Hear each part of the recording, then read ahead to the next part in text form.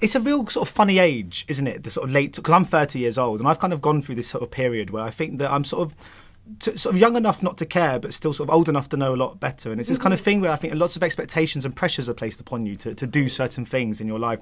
Is that was that just a really fascinating area for both of you to explore? Because it's one that we don't see too often explored in film. I don't find. I think it really was. That was definitely that that kind of that point where you do feel like there should be some kind of milestone, even if it's not the kind of traditional 30th birthday there on the horizon. But I think just something about that point in your life where you're you really are expected to be growing up a bit and kind of working out what you want to do and probably you know thinking about a career and, and kind of spending time with people you really want to spend time with. And and make you know for I think for women especially there's a lot of pressure to stop doing certain things with your body and start doing other things with your body or start preparing to do other things with your body.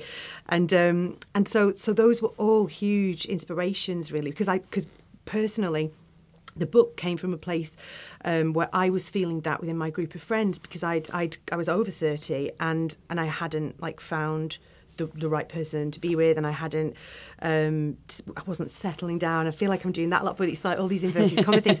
Um, but because I don't really believe in those things that's why I have to, to use my, my hands like that.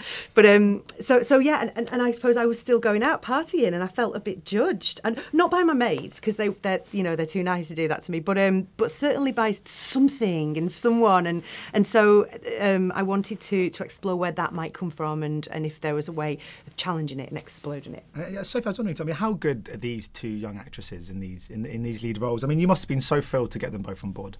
I, I just love them both. I just think they're both so exceptional, and working with them, that was just um, like brought to the surface. I mean, I, I, was so floored by them all the time. They're consummate prof- professionals. Like they walk in and they know what they're doing in every respect. Um, and we did a whole lot of rehearsal process, um, which they just threw themselves into. Even though having been working actors for some time, some people don't want to do that. Um, they really launched into it, uh, embraced the story, but they both just have this really remarkable quality. And what was interesting about animals was that they were doing things that they weren't often getting a chance to do. So Holliday was definitely a kind of having a very modern role, you know, a very kind of a little bit messy, a little bit grotty, things that we haven't seen her do. Or if we have, we don't think of her like that, even though mm-hmm. she is doing that. And then Alia, you know, she's just this very excellent, we've seen her be this very excellent, awkward indie kid. And so to put her in a role that was very glamorous, I thought, mm-hmm. and um, very in control, uh, felt just exciting, you know, and watching them together was um, a thrill the chemistry was spot on, which was so crucial for it to work because the friendship was so central to it. So yeah, they got on, you know, a house on fire, and yeah, that was that was yeah, lucky. Yeah. Did, did, you have to screen test them together before? did you just get a, an inkling? We didn't. Yeah, I mean, in fact, we, we I only met both of them on Skype, so that was um, you know, we I just felt like they were really right. And in fact, Alia had a kind of Tyler quality that I'd never seen in her on screen, and uh, that was excellent. But when they came together, we did a lot of intimacy work and a lot of tasks to kind of create something. And because they're so good as actors, I mean, their job is to create that chemistry too. You know, they great actors, they make that work, you know, straight away. And mm-hmm. I mean, they they became very close friends as well. But you know, they they just sort of have to do it. All of them did.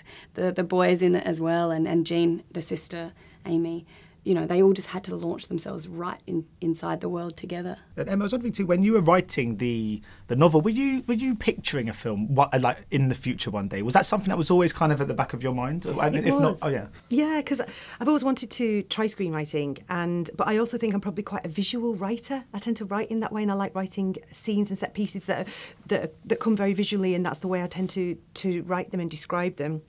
Um, and I love dialogue, and obviously now I know screenwriting is so much more than that. But but that was one of the sort of staples, one of the things that I, I enjoy writing and reading the most. So it was great to get the chance because not novelists don't often do. You don't often get the chance to adapt your own work. A lot of novelists don't want to do it.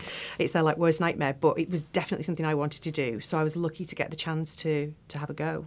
And just my final question really is just what's next for you both? Have you got anything sort of in the pipeline? Have you are you working on another book perhaps and another film?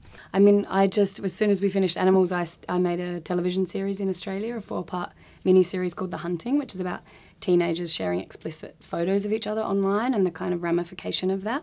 Uh, so I will just put that out and Animals out and, and go back into the world of development. Mm. Yeah, I've got a new novel coming out next February in the UK and America, and um, that's called Adults, and that's about a woman who's kind of, I guess, five years on from Animal, so she's 35. So it's about a whole load of different pressures that are affecting her then, and I'm going to adapt that for TV. Oh, nice. Brilliant. Coming of age, coming of age. Yeah, coming of age. I'm just going to keep coming of age till I'm like 70 and then die. Lovely. Thank you very much. That's how they should all in, in, interview students. And then we'll die. Um, Ladies and gentlemen, you're watching Hey You Guys! Hey, you guys, huh? Hey, you guys. Is that from the Goonies? It is indeed, yes. Nice. Hey,